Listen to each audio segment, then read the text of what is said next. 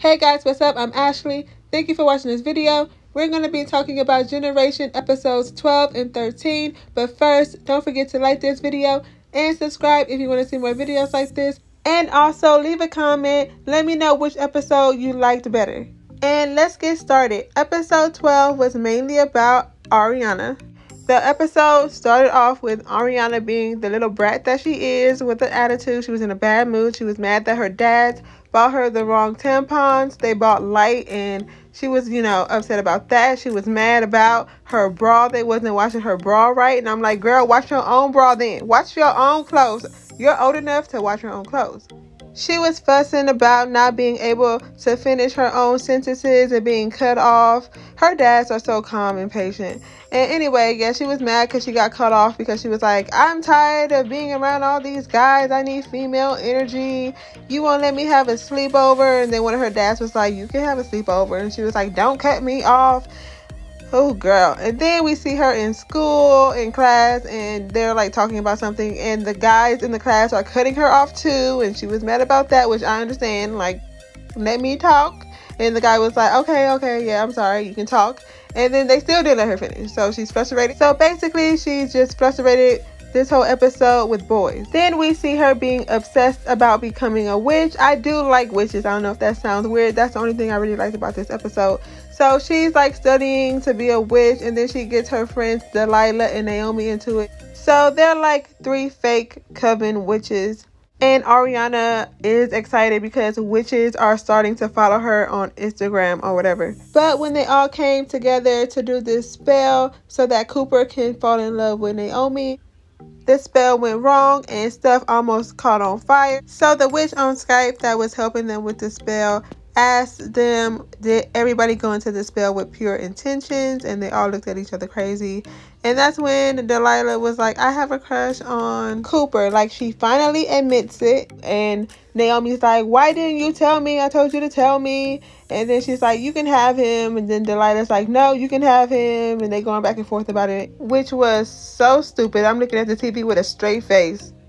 Not excited at all. But also, there was a rumor going around school that a girl gave birth at a Panda Express because, you know, in part one, she was giving birth at the mall. So they are talking about Delilah. They just don't know that it's Delilah, at least not yet. I'm wondering who spilled the beans, or you know, someone from school could have been at the mall. They were running back and forth in a whole Target basket and all that. So someone could have saw them.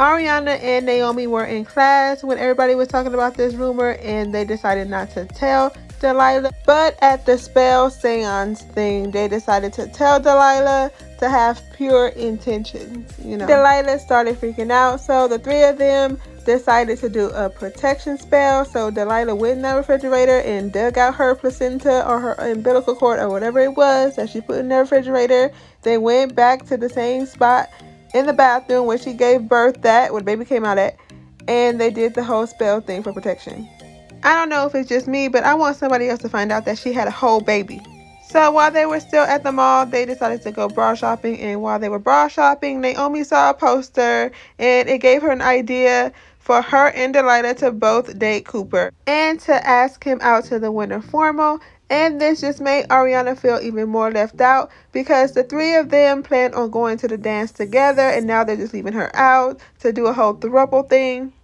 They just pushed her right on to the side. So Naomi, Delilah, and Arianna decorate a car so that Naomi and Delilah can have a throuple with him and to go to the dance. And of course he said yeah. And they had Arianna record it all, and she did not seem happy at all. She looked kind of sad. And then she's like, okay, bye, I'm leaving. And then they're like, bye, girl. And then she walks away, and the same guy that was cutting her off in class asked her to the dance. And she's like, why are you asking me to the dance? You think I'm to say yes and go out with you when you cut me off all day? You don't let me talk. And plus, the girls are supposed to ask the guys out, and you came up with this idea. And you're asking me? He was left looking dumb, and then we see her at home and she's sad. And one of her dads comes in and he's like, Are you okay? She's like, It's fine, I'm on my period. I just have cramps. And he calls the other dad. He's like, Get the Midol. She's like, I don't want no Midol. And so she's like, Y'all just go away. I don't want to talk to y'all. Please don't make me talk. And then so they go away and they come right back with ice cream. They sit on the floor. And then Arianna joins them and eats some ice cream. You know, there's no words spoken. They're just, you know, being there for Arianna. So let me know what y'all thought about this episode. Do y'all feel sorry for Arianna? I don't really like the girl, but I do feel a little bit bad for her. Probably about one fourth bad. Now, let's move on to episode 13, which was my favorite episode of the two. So, first, when it comes on, we see Megan on stage, which is Naomi and Nathan's mom, and she's talking about love is complicated.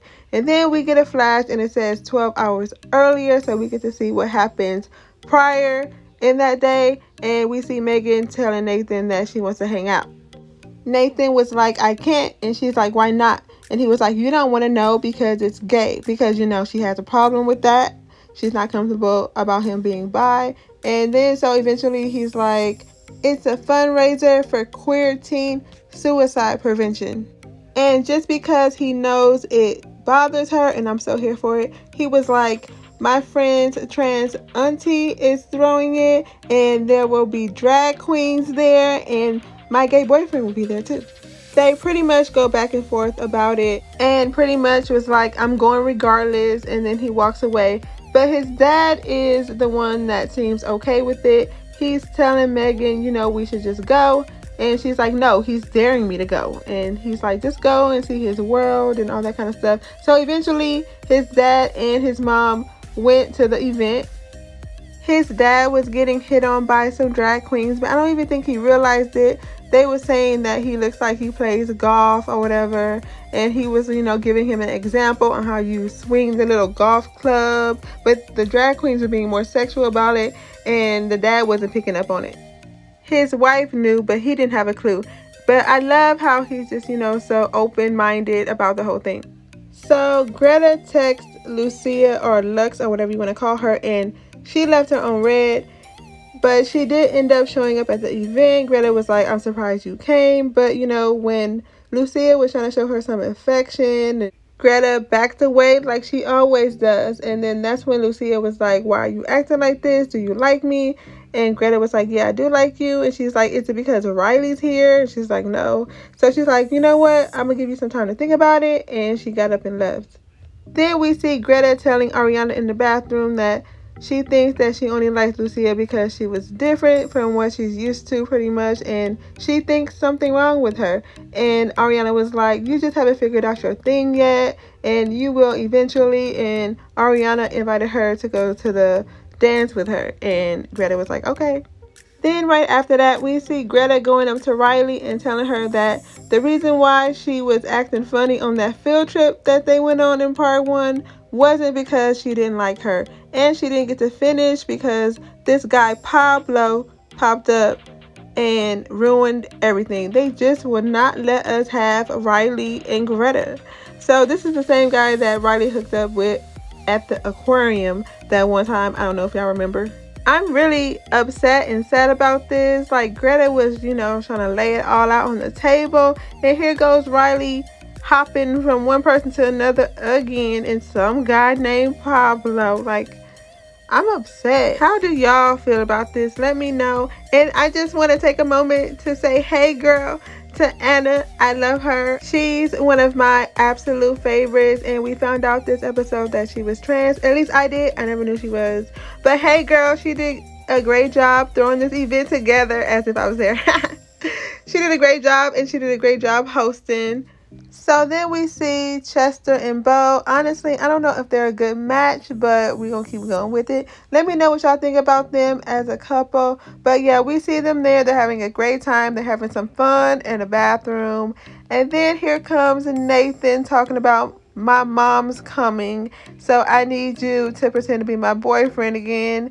And so that's when Chester has to tell Bo about the whole thing. And while he was explaining the whole thing to Bo, he was realizing that this whole thing is ridiculous. He was telling Bo that, you know, that night that they had that horrible date, that he kissed Nathan, but they wasn't pretending to be a couple then, but he kissed him. And Bo was like, oh, really? Because that night I went home sad. I was real sad that night. So Chester was like, I think this is sounding worse than what it is. And, you know, he didn't get to finish because here comes Nathan sitting there. He's like, sorry, my mom's coming. So, you know, they had to pretend about the whole thing. And Bo was like, you know what, it's fine, it's cool. So I don't know how okay he is with the whole thing, but we, we just gonna have to find out and see. But do you think that Nathan is being selfish? What do you think about this whole thing? And if you were Chester, would you do this for your friend? And for how long? I think that Chester should probably stop and Nathan should understand. Like, go get you another boyfriend or something, another fake boyfriend, because this is enough. He's gonna end up probably, you know, having to break up with Bo because of Nathan, and that's gonna be a whole mess. And then, so the episode ends with Megan on stage. Anna called her up there to do karaoke. She called her her first victim. So Megan gets up there. She says, Love is complicated. And then she starts singing the Gotta Be song. And it goes off, it ends with her singing until the credits are done. So let me know your thoughts on episode 13. And let me know which of the two episodes you liked the best. Don't forget to like this video and subscribe if you want to see more videos like this. Thank you for watching this video, and I'll see you in my next one.